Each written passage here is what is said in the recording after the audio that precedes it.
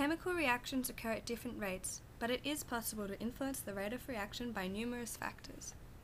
The collision theory states that the rate of reaction is dependent on the frequency of collisions.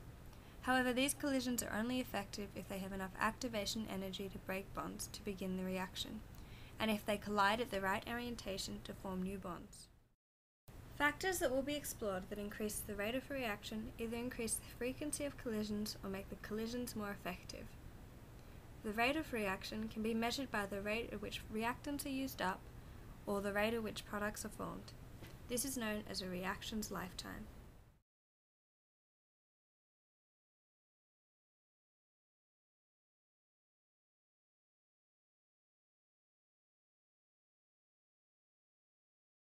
The rate of reaction is measured by the reaction's lifetimes, but not all reactions have suitable lifetimes that can be observed. The reduction of purple permanganate ions by sulfide ions was observed by firstly rapidly mixing the reactants together and secondly forming two separate layers of the reactants and then mixing them together.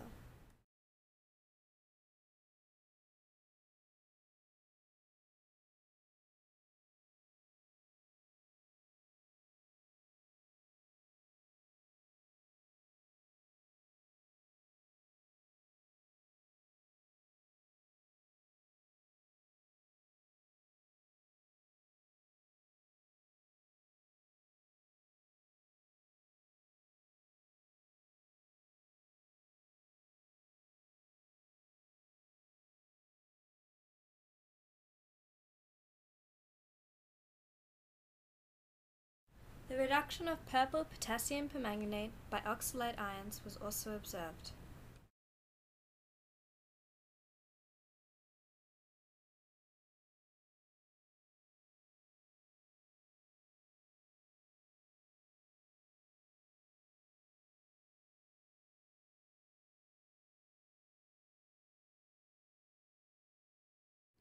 There were two stages in the reaction.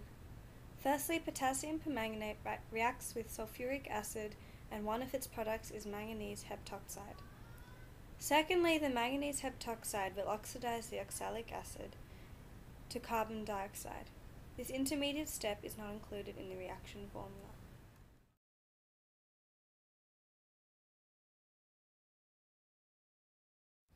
Gases tend to react faster than liquids, which react faster than solids, as it takes energy to separate particles from each other. Because of this, the state of the reactant is a factor affecting reaction rate. This is demonstrated by comparing crystal and aqueous solutions of the reaction of lead ions and iodide ions to form yellow lead iodide. The aqueous solution reacted instantaneously, much faster than the crystals.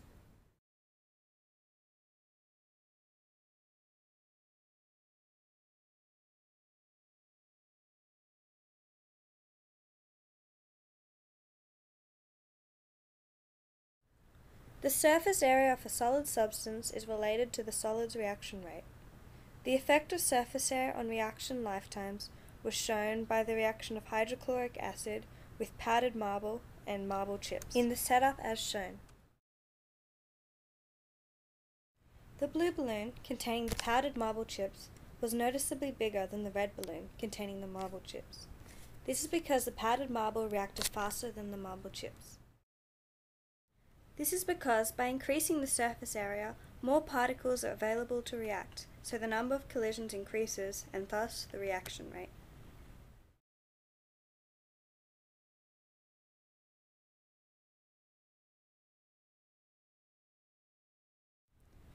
The dependence on the rate of reaction on the concentration of reactants was investigated by the reaction of magnesium and hydrochloric acid solution of different concentrations.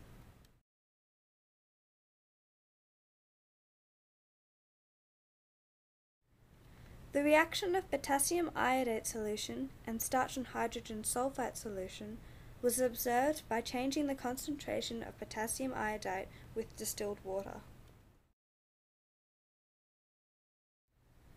Both reactions slowed when the concentration was decreased.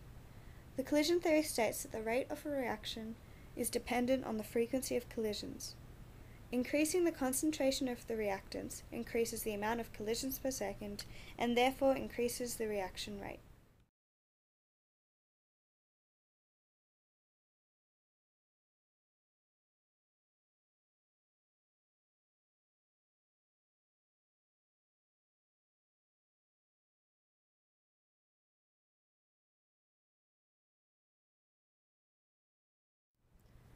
Temperature is proportional to the amount of kinetic energy of a substance, and so with an increase in temperature, particles are provided with enough activation energy to ensure more successful collisions.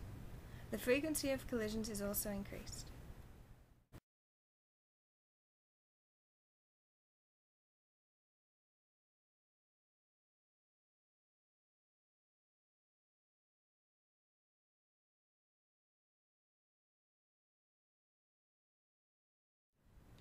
The test tube containing a catalyst had a faster and more vigorous reaction.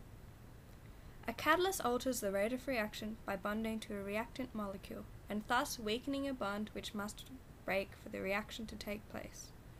A catalyst is not being consumed in the reaction.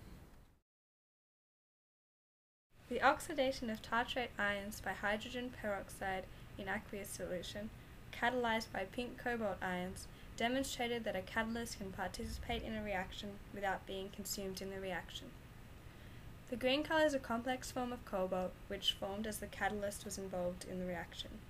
The pink showed that the cobalt ions were present but not involved.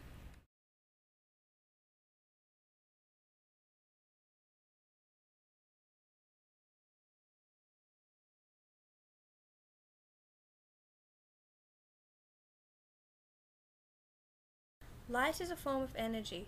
Light speeds up a reaction by providing more energy to particles, resulting in an increased frequency of collisions and allowing particles to reach the activation energy required. As this reaction is light sensitive, it is often used in modern cameras to create a photographic image.